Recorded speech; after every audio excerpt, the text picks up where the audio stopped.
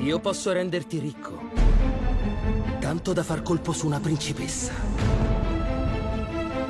Che dovrei fare? Entra nella caverna delle meraviglie.